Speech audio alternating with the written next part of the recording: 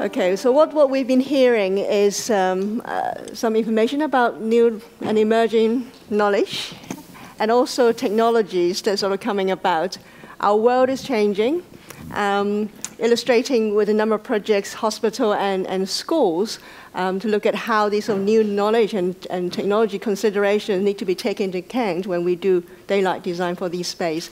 So I'd just like to open to the floor now. Um, Anybody have sort urgent questions? Put put hands up. The mic will come your way.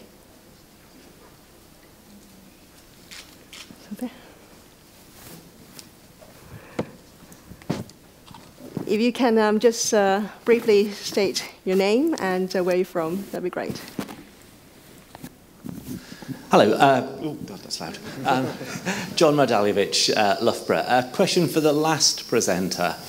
Um, nothing wrong necessarily with using the daylight factor. However, I would encourage looking at the median value rather than the average because the, the median value in those spaces was probably about one or two. And that's so you know that half the people in the classroom are actually getting less than one or two percent. And it'll also be a better diagnostic to differentiate between multi-aspect and, and single aspect. And I won't mention climate-based modelling at all.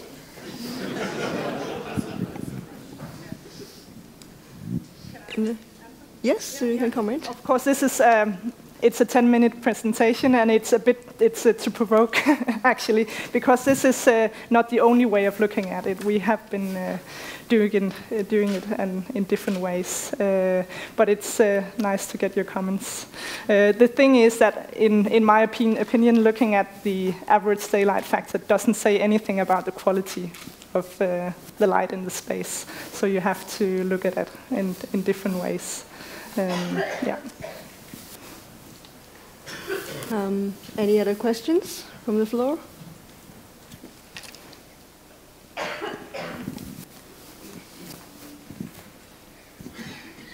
Yeah, good afternoon, Renate Hammer from Austria.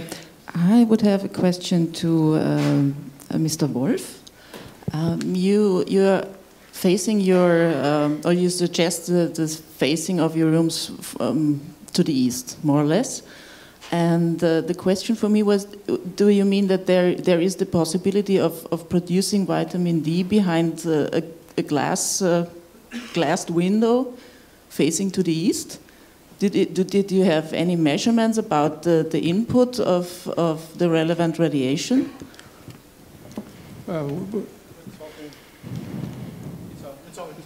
Uh, we're talking two two things. Vitamin D is not, uh, I mean, specific east, but there is uh, more UVB from the sun and the sky south than there is only from the sky north. So you have like a graduation when you were talking UV, but but but east is not. Uh, east has less UVB than south. So uh, east is more for the circadian rhythm to to yeah.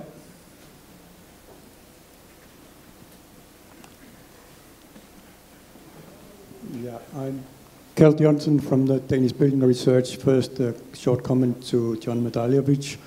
Uh, of course, you're right about uh, the mean and average, but any skilled architect would see that there would be plenty of daylight in this room, so you don't need all these uh, climate-based daylight analysis. Stine made, a very, Stine made a very fine presentation. Uh, and was one of the few of the speakers we have heard today who stressed the fact that we need large windows, but we also need some sun, uh, solar shading devices. That's very important, and I'm very surprised, a little bit disappointed about today.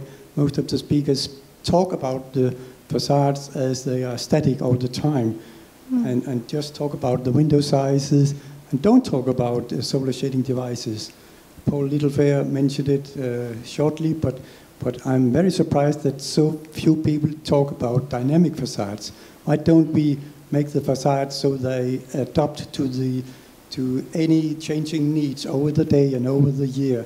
I'm very surprised that we see, still, still see these overglassed buildings and poor sun, uh, solar shading devices.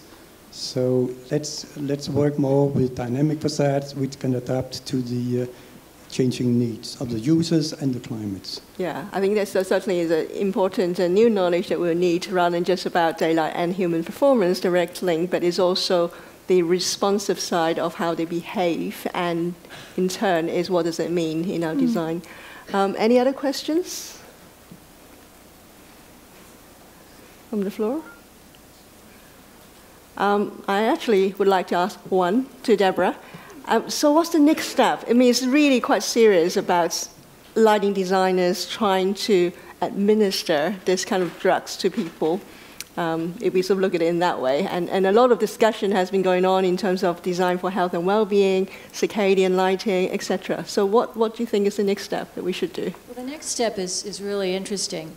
As I mentioned earlier, in terms of treading in each other's sandbox, we not only have to go outside our comfort zone, mm. we have to become comfortable in another sandbox. We have to learn how to speak medical and scientific and present our research for publication mm. in scientific peer reviewed journals, not just limit it to design or architecture journals.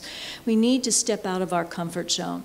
We also need to be able to embrace the fact that we do not practice in a silo. We need to have design mm-hmm. practitioners in as participants as well as key research um, professionals on every scientific and medical project and research project that has anything to do with ambient light. We can provide a, a very specific type of input that scientific and medical researchers are just not trained to be mm. able to perceive. From our end of it, we need to be able to go outside our boundaries and take upon ourselves the challenge of education insist that those that we bring into our office as interns. Insist anytime that we see a educational professional to ask them what is it that you're teaching in terms of health and light? How far do you get into the medicine the biology the, mm. um, the chronobiology and specifics of pharmacology even how far do you pass other areas and then take it upon ourselves to when we have a project, no longer just ask, what's your budget, what's your aesthetic means, and what are you expecting from energy efficiency? And then when the preliminary budget comes in, you step back and you offer VE, value engineering. We need to be able to offer more mm. from the front end. We need to be on the front end of the project with the architectural team and the stakeholders to be able to determine and prioritize wellness and give stakeholders an idea of what they're literally looking at. And also start taking surveys, pre and post hoc surveys, so that we can document our work and start acting like professionals that we are mm-hmm. instead of design professionals. Because in the future, the lines are blurred. We're not going to be design professionals. We're going to be more, if we continue on the road of circadian science, more like quasi medical professionals that have to work with a team of scientists mm. and medical practitioners. Yeah. Thank you, Deborah.